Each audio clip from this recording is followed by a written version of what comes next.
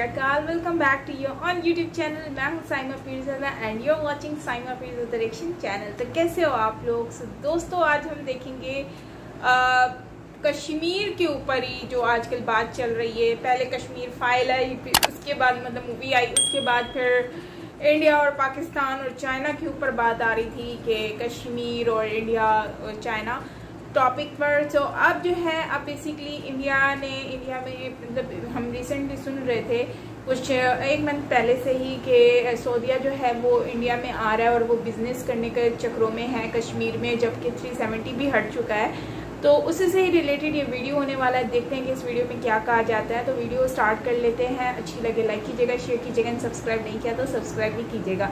तो वीडियो को स्टार्ट करते हैं। सो लेट्स स्टार्ट इस खबर की शुरुआत में ही पाकिस्तान और चीन को चेतावनी देना हमारा फ़र्ज़ है। ये दोनों ही देश अपने आँख और कान बंद कर सकते हैं, क्योंकि भारत ने कश्मीर में आखिरकार वो करना शुरू कर दिया है, जिसे देख ये दोनों देश बेचैन हो जाएँगे। आपको बता दें कि जिस समय पाकिस्तान में मुस्लिम देशों के सबसे बड़े संगठन ओआईसी की बैठक में इमरान खान और चीन के विदेश मंत्री कश्मीर का रोना रो रहे थे, ठीक उसी वक्त ओआईसी के ही सबसे मज़बूत देशों ने कुछ ऐसा कर दिया, जो अब तक शायद कभी नहीं हुआ। आप ये जानकर हैरान हो जाएँगे कि सऊदी अरब और संयुक्त अरब अमीरात ने जम्मू कश्मीर में एक इन्वेस्टर समिट में हिस्सा ले लिया। ये सब कुछ ठीक उसी समय हुआ जिस समय पाकिस्तान में ओआईसी की बैठक चल रही थी।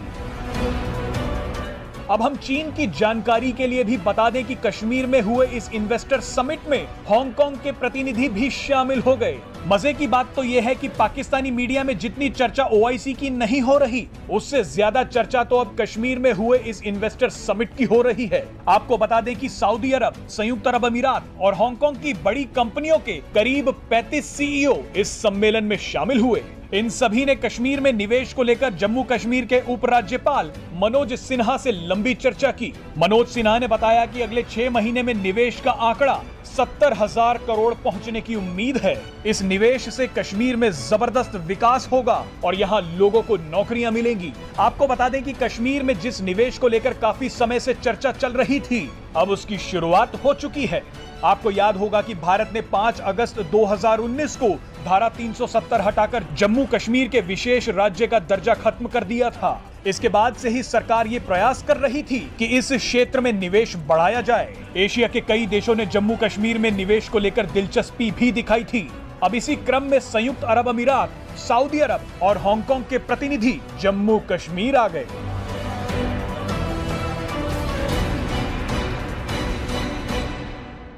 Presenting B News app, available on Google Play and App Store. Download it now.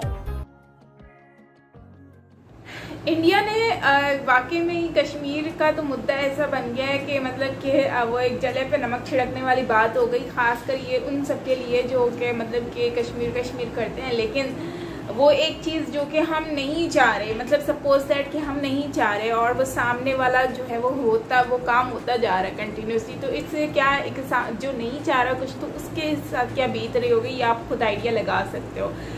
तो खैर, कश्मीर में, सऊदिया से भी लोग आ रहे हैं यूए अरब कंट्री बेसिकली ये लोग इन्वेस्टमेंट करने के चक्रों में हैं और वो चाहते हैं कि यहाँ पे इन्वेस्टमेंट करें और कश्मीर से कमाएँ क्योंकि कश्मीर एक ऐसा हब है जहाँ पर इंडिया के बहुत सारे टूरिस्ट जो हैं वो इंडियन वहाँ पर आने इंडिया के मतलब जितने भी टूरिस्ट इंडिया में आते हैं वो सारे ही कश्मीर में आते हैं घूमने के लिए और फिर पूरा इंडिया भी कश्मीर घूमने जाता है जब मौसम होता है और फिर कश्मीरियों का भी बिज़नेस उससे से ही चलता है क्योंकि ज़ाहिर सी बात उनके पास और कोई रोज़गार तो है नहीं।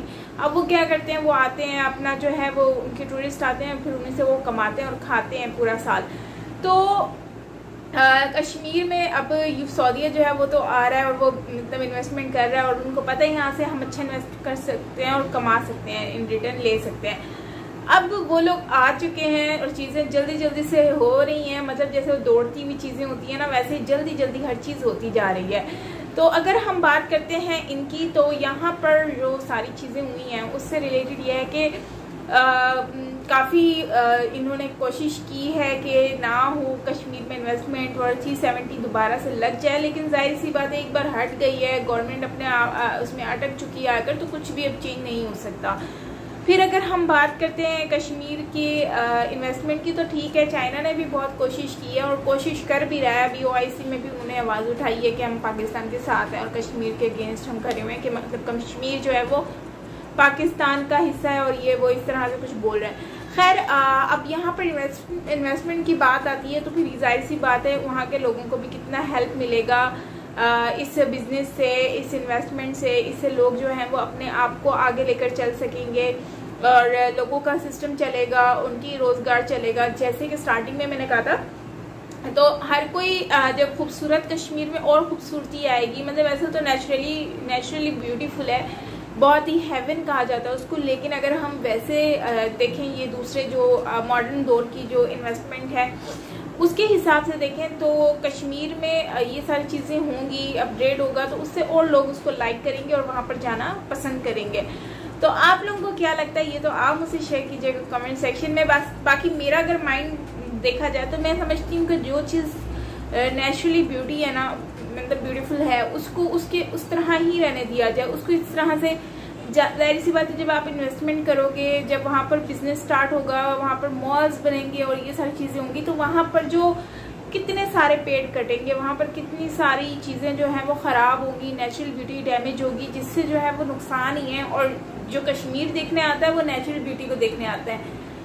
मॉल्स और ये सारी चीज़ें तो लोगों को नॉर्मली हर जगह पर मिल ही जाती हैं, लेकिन कश्मीर यूनिक क्यों है? बिकॉज़ वहाँ पर नेचुरल ब्यूटी है, वहाँ पर कुछ भी आपको डेवलप करने की ज़रूरत नहीं है, लेकिन हाँ थोड़े रोड्स कंस्ट्रक्ट करना और ये इस तरह की सुविधाएँ जो कि लोगों को ज़रूरियात होती है वही हो और मार्केट हो, जो कि कल्चरल हैं, वो बहुत ही ज़बरदस्त और यूनिक लगती हैं।